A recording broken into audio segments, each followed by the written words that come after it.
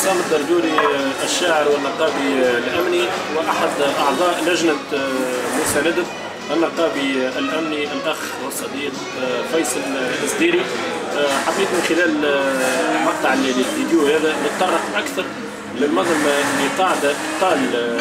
صديقنا وخونا سي فيصل الزديري من منطلق سيفته النقابية لأنه فيصل الزديري اللي ما يعرفش الأمني هذا معناها طيلة مسيرة المهنية اللي تقدر ب 21 سنة. معناها الملف الإداري بتاعه أنصع من البياض وأتحدى أي شخص يقول عكس هذا. معناها شاءت الأقدار أنه اليوم تتأسس نقابة في سلك الأمن. وشاءت الأقدار كذلك وشاءت إرادة الشعب أنه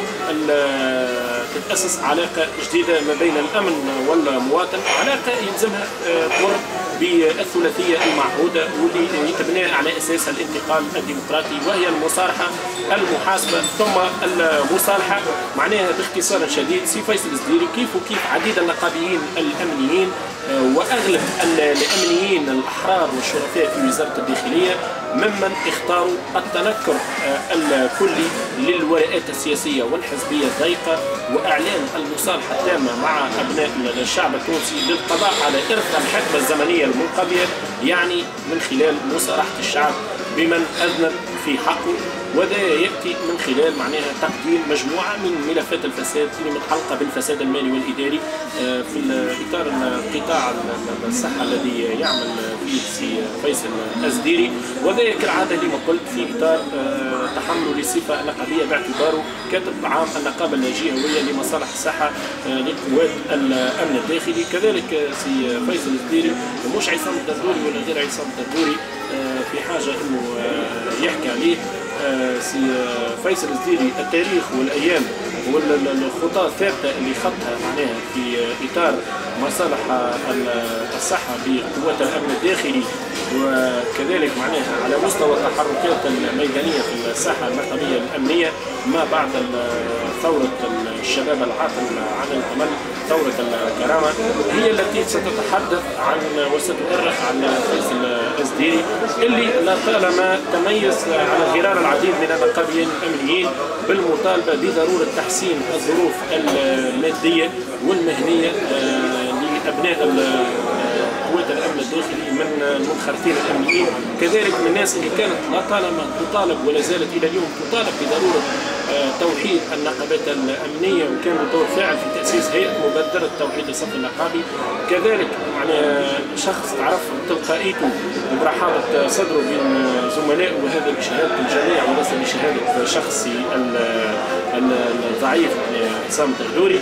ومعناها دون أن ننسى كذلك فضل سي فيصل الزديري كما قلنا في ناحية المسار النضالي النقابي متواضع إلى حد الساعة. معناها إنسان قاعد يضحي بروحه يضحي معناها إنسان توقف عن العمل تو يقارب ستة شهور و20 يوم بدون أن يتقاضى ولو ملي من واحد معناها إنسان قاعد يضحي على حساب عائلته لا لشيء إلا لأنه حب يكون معناها يصارح الشعب. وبالتالي يصارح كذلك الأمنيين شكون القيادات اللي معناها امتصته دماؤه معناها قامت بعديد التجاوزات معناها في صلب قطاع الصحة بوزاره الداخلية وهذا ما نجم يكون كان موقف رجولي وموقف بطولي. نحب نقول إنه سي فيصل الزديري ما مشاش مباشرة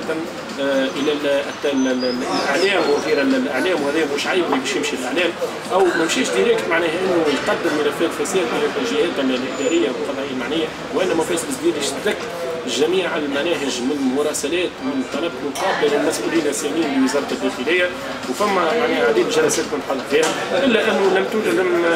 يعثر على الأذان الصاغية. لذلك معناها بعد ما مشى سي فيصل الزكيري للإعلام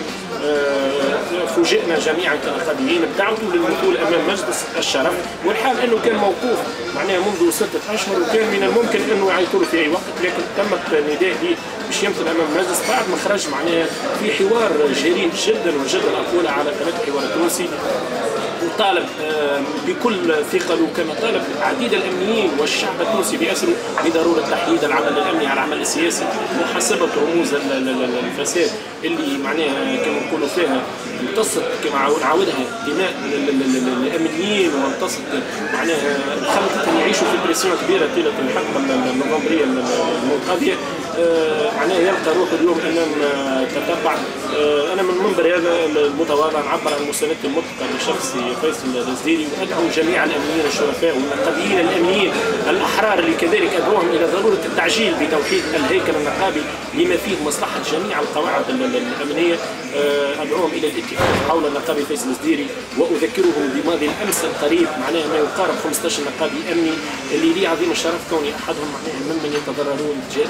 يدفعون ضريبة باهظه نتيجة مطالبتهم بتحديد العمل الأمني على العمل السياسي. يعني عمل رجل الأمن بالقانون لا بلغة التعليمات التي هي في الأصل ترجمة القرارات السياسية. حب عون امن يكون عون أمن جمهوري وذا ما ينجم يصير إلا بضرورة تسترد حياد المؤسسه الأمنية في الدستور التونسي الجديد وكذلك تغيير النظام الداخلي اللي قاعد ينظم عمل قوات الأمن الداخلي. وغيره اليوم نطالبوا بوقفه حازمه وجدية كذلك ومساندة تكون بريئة يعني لصالح التغيير ولصالح البناء ولصالح التأسيس من المجتمع المدني وليست لصالح المتاجر. بالمناسبة هذه نتوجه بشكر إلى عديد النشطاء في المجتمع المدني الصادقين والأحرار اللي يحاولوا يتعاملوا مع الملف الأمني من منطلق جانب الإصلاح والمصلحه الوطنية وليس من باب المتاجرة أو المزايدة السياسية وغيره. مشكورين.